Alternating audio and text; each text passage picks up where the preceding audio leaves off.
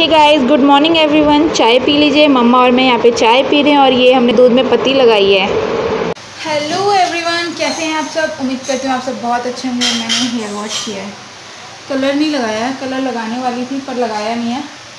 तो सोच रही हूँ वेडनेसडे को लगाऊँगी। वेडनेसडे को लगाऊँगी अभी बाल गीले तो अभी फॉर्म नहीं किया है। इसे अपने आप ही ड्राई होने के लिए छोड़ा है मैंने। और वैसे ब्लो ड्रायर वगैरह का यूज़ नहीं करना चाहिए, उससे बाल डैमेज और मेरे बाल तो वैसे ही बहुत ज़्यादा डैमेज हैं। और चाय जस्ट अभी पी है और सुबह के बज रहे हैं नौ।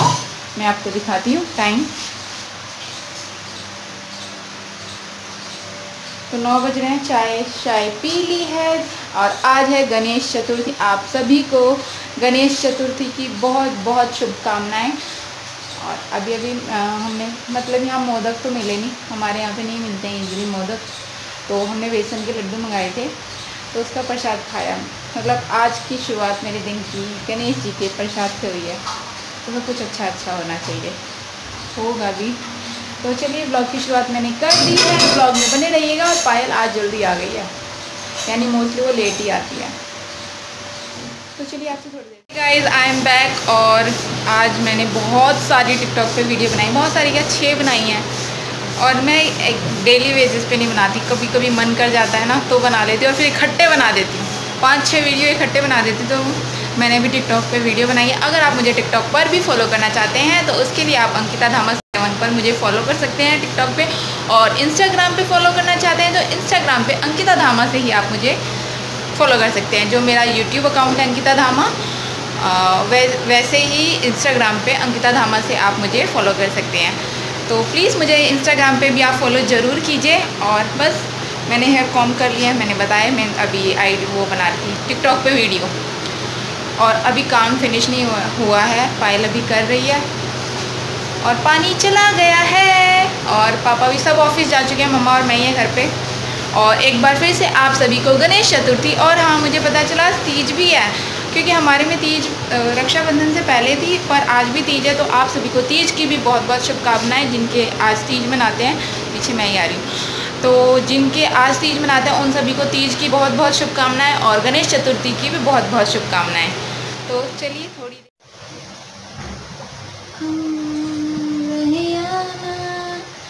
hi guys I am back और डेढ़ बज चुका है। एग्जैक्ट डेढ़ बज चुका है और आज जैसे कि तीज है तो हमारे पड़ोस में एक विंडो से दिखाई दे रहा था तो वहाँ देखने लगी, कोई खड़ा था। तो आज जैसा कि तीज है तो हमारे पड़ोस में आंटी हैं तो उनके मेहंदी लगाई थी। मुझे मेहंदी लगानी नहीं आती है तो मैं आंटी से कह रही थी मुझे आती नहीं है। वो कह रही, जैसे आती है, वैसे लगा दो, नेक कर, नेक करना होता है। तो मेहंदी लगाई थी। मैंने अपने हाथ भांड लिए लगाते लगाते अपने हाथों पे ज़्यादा ही हो गई।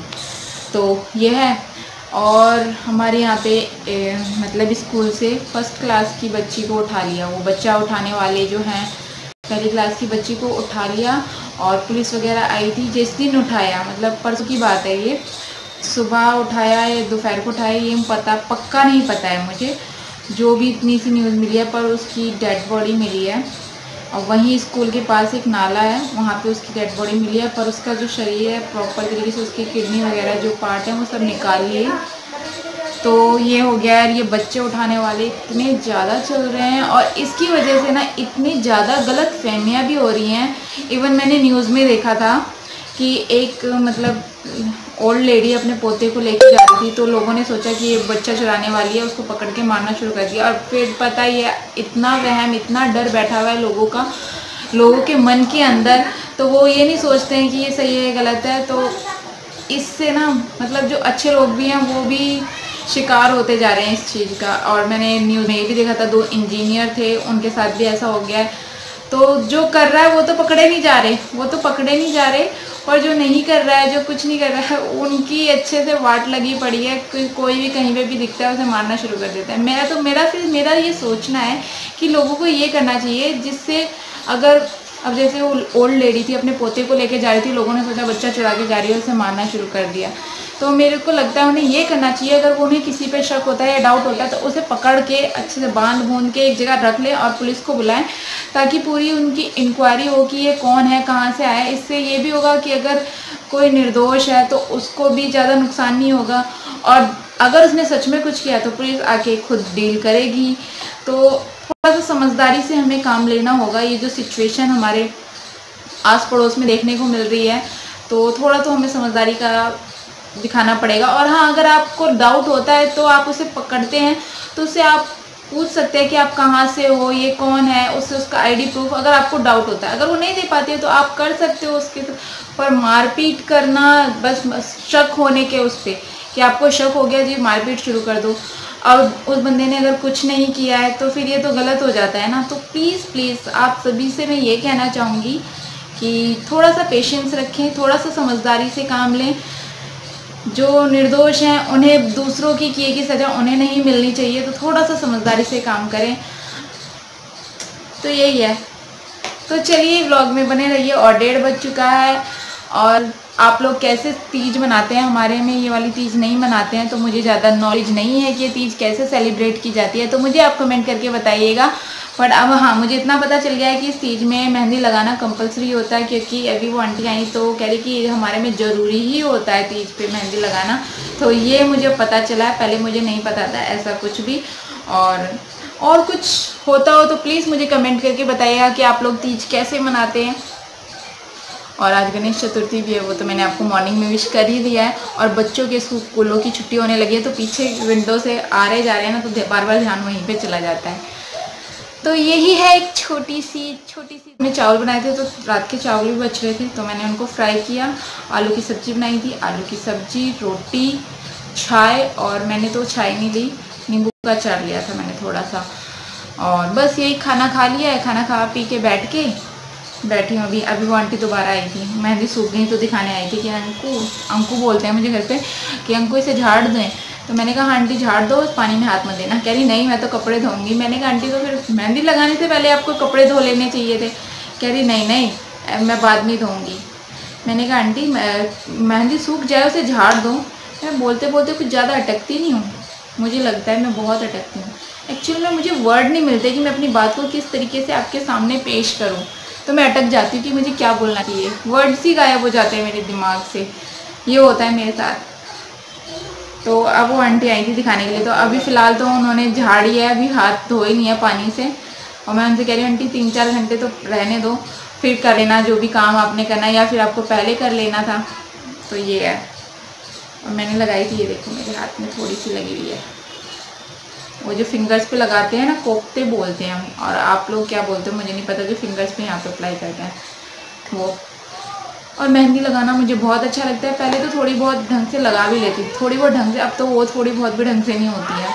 हाथ ही नहीं चलता अब आदत छूट गई है। पहले तो इतना शौक होता था मेहंदी लगाने का कि कटोरी में मेहंदी घोलो और जो सुई धागे की जो सुई होती थी ना, उससे लेके डिज़ाइन बनाना शुरू कर देती थी मैं। बहुत शौक था, बहुत ज़्यादा शौक, पर अब इतने शौक नहीं रहे हैं। जैसे जैसे टाइम बीतता जा रहा है, शौक बदलते जा रहे हैं। अच्छी लगती है मेहंदी लगाना।